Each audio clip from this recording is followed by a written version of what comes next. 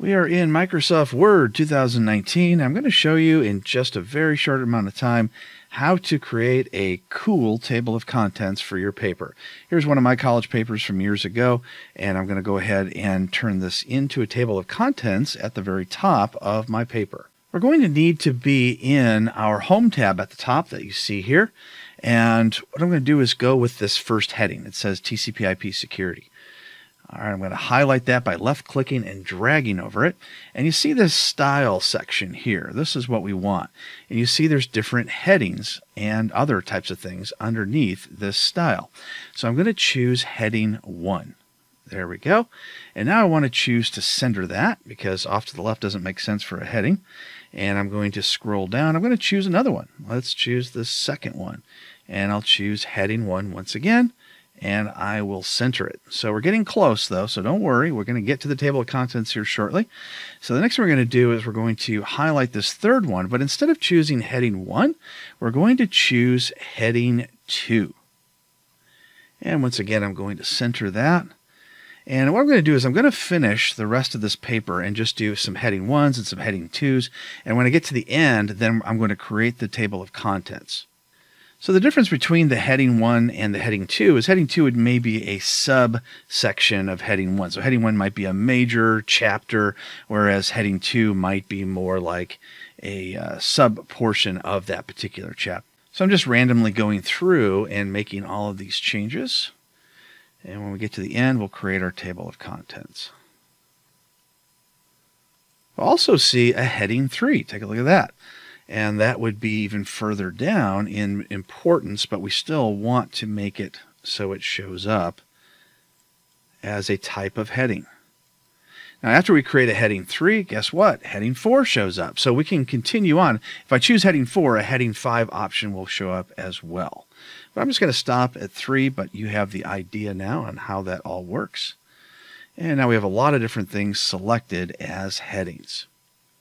I'm going to go to the top I'm going to go to the top where it says references and I'm going to select that and we see table of contents.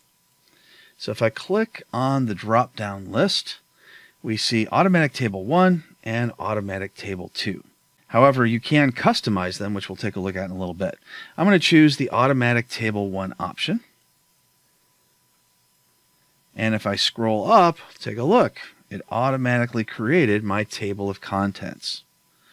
And we see heading ones, for instance, and we see some heading twos underneath the heading ones.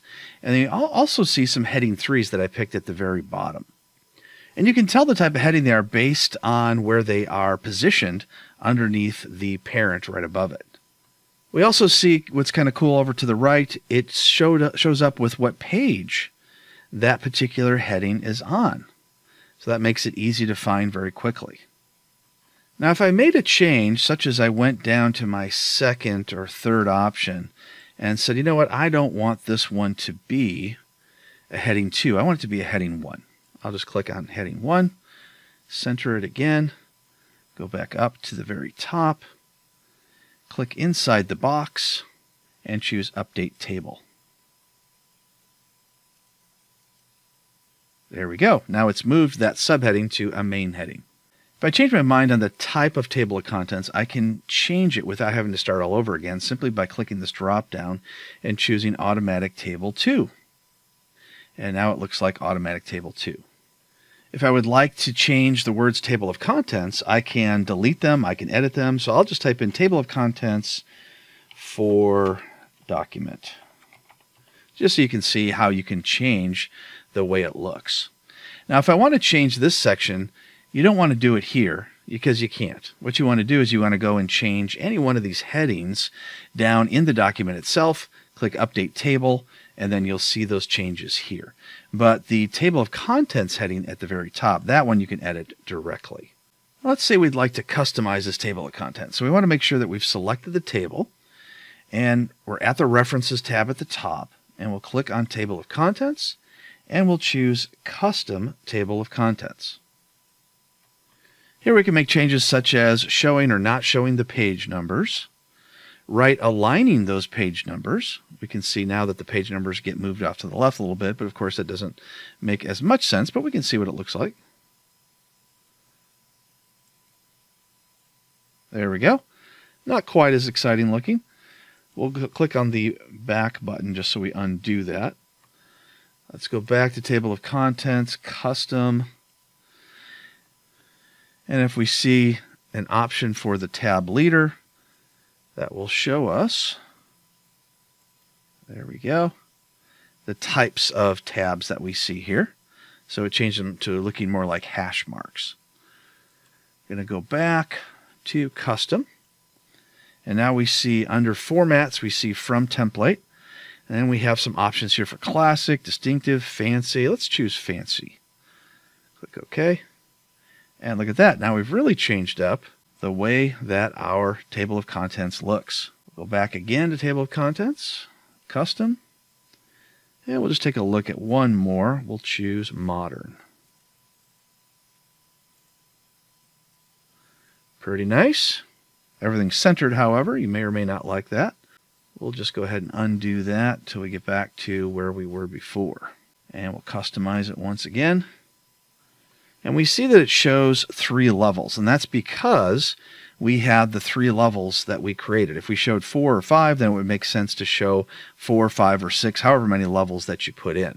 But if you decide to say, hey, you know what, I don't really want to show level three in my table of contents, yeah, it's going to show up in my document, but just not in my table of contents. So if I click OK, all my level threes go away, and I just end up with level ones and twos. Let's go back to a more classic look of a table of contents.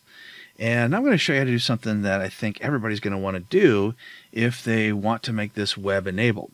So we'll go back to table of contents one more time, click on custom table of contents, and make sure the box is checked for use hyperlinks instead of page numbers.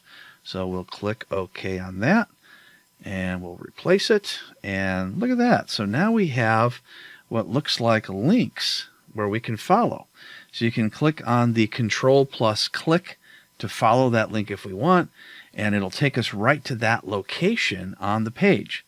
So for instance, if I click on the TCP IP tutorial, I'll click the control plus click, and it'll take it take us right to that location. And there it is.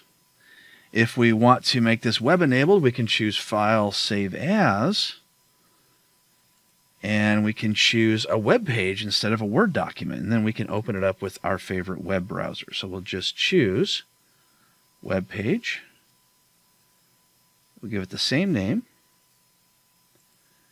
And now we see this new web page. So I'm going to right click on that, choose open with. I'll choose Firefox. And there it is, all link enabled. Now it does change the formatting a little bit, so you may have to play with that. However, having those links taking you right to the location, either in Word or in a web browser, makes it really handy. I'm also going to create another video on how to create a manual table of contents. So if you want to do this a little bit more manually, you can see how to do that as well. But that is how you create an automatic table of contents in Microsoft Word 2019.